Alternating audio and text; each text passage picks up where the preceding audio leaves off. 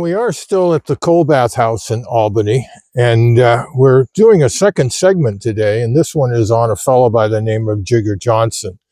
Unfortunately, Jigger is the one that got away. Uh, we have searched all over the Conway area and we have inquired with number number of local historians. In fact, this very morning we checked two more cemeteries in Conway, and we have never been able to find Jigger Johnson's grave.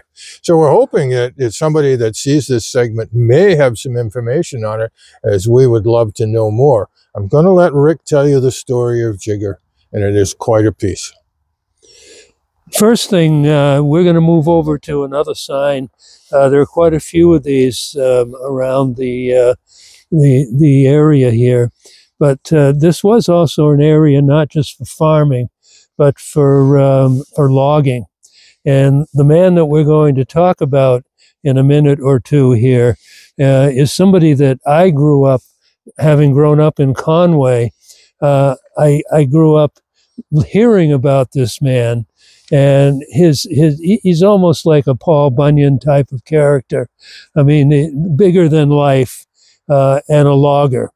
And I'm going to tell you about him in just a minute. Uh, but he is the one we haven't been able to find. We've had a couple of um, of, of people who've said that they knew where he was. Uh, he is apparently in a pauper's grave. Uh, we originally thought in North Conway but we have not been able to find a pauper section up there. And a few people have given us some uh, pointers. There was a historian who used to work at the Conway Library, David Emerson, who apparently did know where his grave was. So apparently it exists, but uh, we haven't been able to find it. And it's the only one that we haven't, but we felt that Jigger was big enough in life, if not bigger, that we should include him. Absolutely. We're standing another again with a board here that tells us about the corporate logging uh, and some of the larger mills in New England. But we're here to talk about Jigger. Let me give you a couple, uh, I'm going to pull a few things from the article from our book, if that okay with you, Bill? It works for me. Okay. Um, First of all, when he was born, he was supposedly born wearing logging boots, holding an axe, chewing tobacco, and smoking a pipe. Not sure of all the same time, I guess so.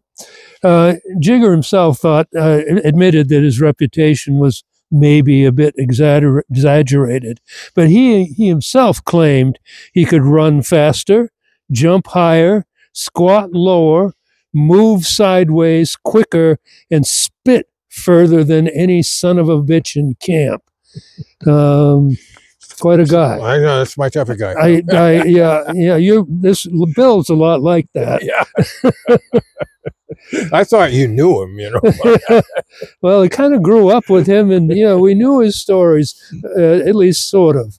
Um, Bob Monahan, who was a one of the founders of the Mount Washington Observatory, apparently was a fairly good friend of of Jigger's, and uh, he he actually you can find information from from uh, from from uh, from him that is probably closer to the truth. Apparently, he was a fairly short guy, uh, about five six, I guess, weighed 160 pounds, but according to Monahan, that's what all muscle. Again, kind of like Bill. Uh, but one of the famous stories is that, uh, well, by the age of 12, actually, he was a cook's helper in a logging camp. And at that time, apparently, when you came in to eat, you were supposed to be silent. And I guess a few drunk loggers came in. And uh, th- at that point, Jigger was known as Cookie because he was working in the kitchen. And I guess give him some gave him some trouble, but but Johnson fought back. Uh, he jumped on the drunks, biting off the ear of one of them, and you know, I, I, that's one of the favorite store, famous stories. I don't think you've ever done that. No, no, no. no. Uh, Sounds like a more recent boxer. but by the age of 20, I mean, by 20 years old, he was the head chopper of a camp in Androscoggin on the Androscoggin River. Uh, and uh, actually, after the fight, uh, the people, the other Kilwagas that were in there, uh, actually bought Johnson a got him a new shirt uh, and, uh, and and a pound of chewing tobacco for standing up to the rules, I guess.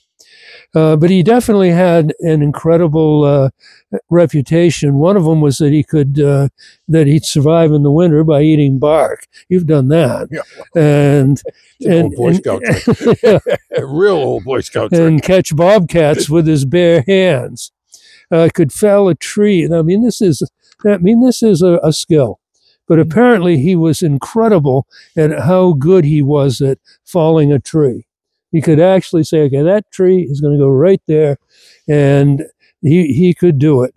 Um, but at some point, getting the the wood out of the forest wasn't paying as well as what it used to.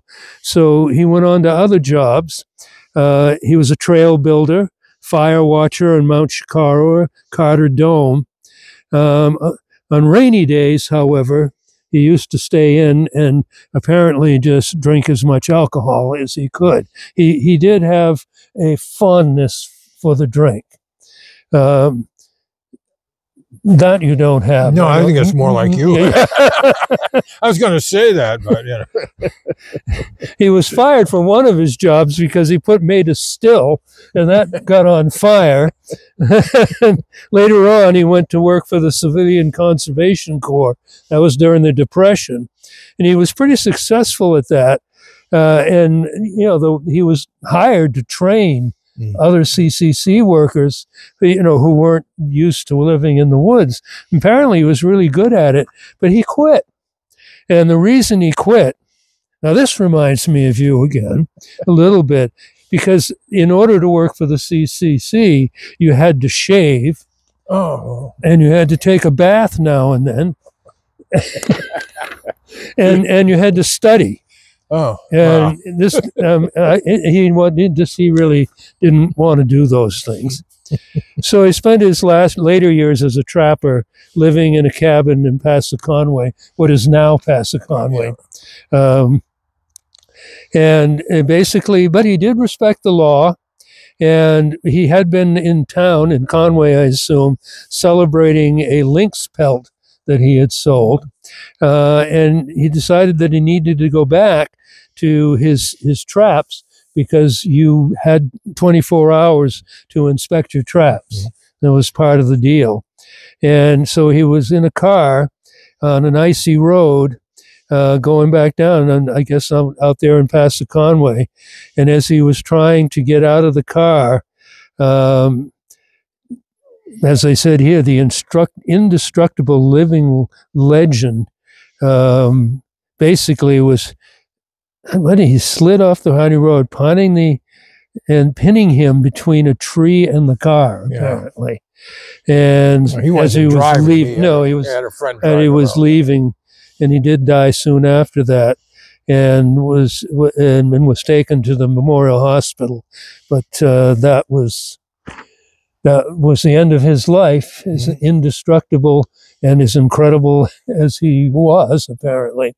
So anyway, we thought he was worth at least mentioning in our book. Uh, absolutely. And right around the corner from here is the Jigger Johnson campground. Mhm. Uh, so obviously, uh, he was well enough thought of that they named a camp- campground after him. And um, maybe one of these days we'll find him. Yes, and uh, we, again, if somebody has information about this, we'd love to hear it. Yes, we would. So uh, you know, feel free to contact us. yeah. But uh, anyway, Jigger, wherever you are, Yeah. rest in peace.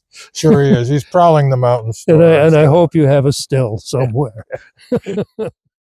As we're coming out of the um, Colbath uh, historical site, as you can see on this sign, uh, you also see the that you can walk to the Jigger Johnson campground from here. And basically, it is right around the corner. Um, so, yeah, he's a famous name right here. I've also heard uh, or read somewhere, and I, I, I don't know if I can go find it right off the bat, but I believe Jigger worked on the farm here at some point. But I can't, I don't know if I can prove that.